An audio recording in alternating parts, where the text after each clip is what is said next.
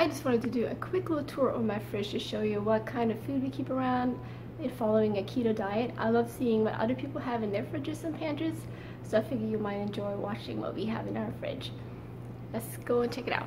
Alright, so keep in mind here that we have two people doing keto and one person not doing keto in our family. So as you can see, we have free range eggs here on the top shelf, cream cheese, which is a great staple to have around, but there's also some puddings, which is my daughter's. And I have this around because you never know when um, the garlic might go bad or something like that. This is um, fine chopped garlic in olive oil. And let's see if we can... On the back shelf here, my daughter has some cream cheese that she likes to use and she also has this butter mix which is uh, olive oil and butter mixed for sandwiches some heavy whipping cream I like this organic valley kind and they also have a really good ghee she has some Concord grapes spread back there for peanut butter and jelly sandwiches this is my favorite brand of sour cream. I like this one because it's a little bit higher in fat than the other brands that our store carries. So that's the top shelf. This is the second shelf. I usually have a bottle of organic lemon juice in the back here. I like to make some kale smoothies once in a while and this is a good thing to add to that. And I usually have an open container of chicken broth that I use for making sauces and things like that. In the back, my husband has some olives, some black olives, and he also has some green olives. I don't like olives myself, but he loves it. I, on the other hand, like pickles, and I got a couple of jars, one open, one open.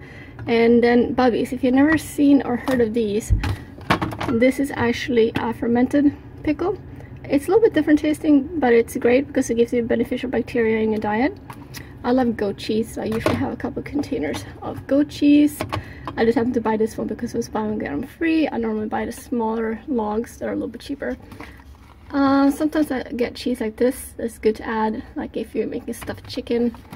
I have some mascarpone, which is great for fat bombs. My daughter loves hummus, so she usually have a couple containers of that. And these are things I found out and about. I got some lemonades, which is great for, with fish. This is a spicier version of that. Also great fish. I don't know why this almond butter is in the fridge but it's been put in there so it's in there now. It's creamy almond butter. An open container of salsa. It's good to add a couple spoons to some dishes sometimes. Here we have mainly our drink shelf. In the back we have my daughter's milk and she also has orange juice and in the back she has some lemonade. I love green unsweet iced tea that's mine. We got some bubbly water here. More bubbly water. My daughter likes soda so there's usually diet coke or 7 up in here. And i do drink that once in a while. I'm not gonna say it's the best option but you know if that's what gets you through the day that's fine by me. It doesn't kick me out of ketosis. Uh here it's our i would call it like the deli drawer uh, we usually have some bacon there's a couple packs of bacon usually there's always at least two containers of different types of shredded cheese.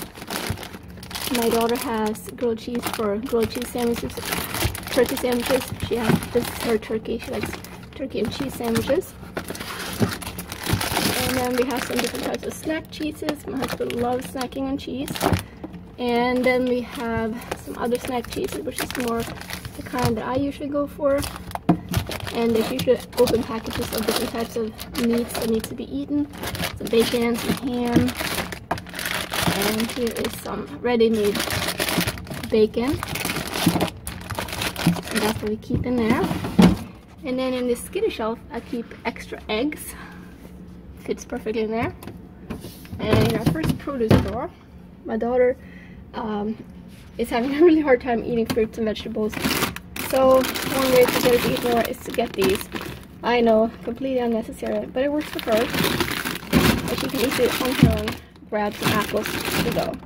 I have a couple heads of cauliflower, always good to have that on hand.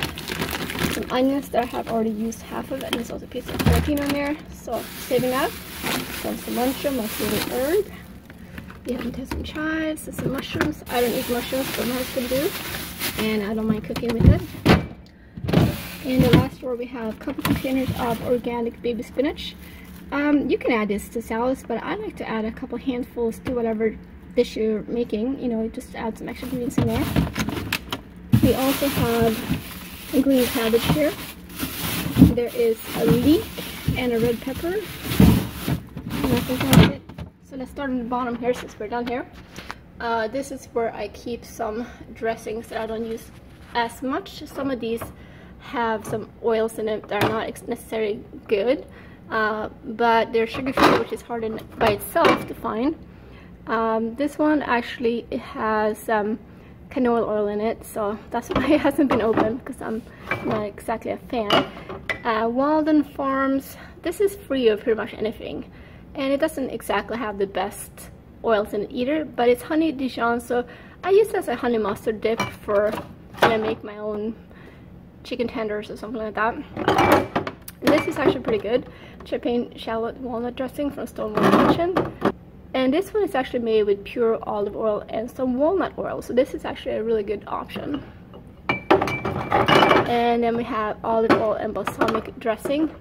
And this is a great option with pure olive oil, balsamic vinegar, spice, and garlic. Of course, you can make this yourself very easily, but you know, when you're busy, it's nice to have things like that around. This is Whole, Whole Foods' own Herbes de Provence vinaigrette, and this is a good option. As you can see, it has um, no bad oils in it, and I can recommend you try that one, that's good. On the next shelf, we have my daughter's regular ketchup, and we have the sugar-free kind with no sugar added. Well, it's not sugar-free because tomatoes have sugar in it, but it's the one with no sugar added. This has some sucralose. I usually have some Dijon and some regular spicy mustard in the back. And we have right now the Primal Kitchen Chipotle lime mayo, which is really good. And we have some Sir Kensington's mayo. This one happened to be made with sunflower oil, so it's not my favorite. I prefer getting one with avocado oil, but you know, I grabbed the wrong kind last time. But this is non-GMO, so that is a plus. And then I usually have a few bottles of Primal Kitchen's dressing. They have probably the best option for salad dressing on the market right now. They're all made with 100% avocado oil. This is my absolute favorite. It's a spicy Italian, creamy Italian dressing, but it's very difficult to find and I just love it. The green goddess is pretty good too.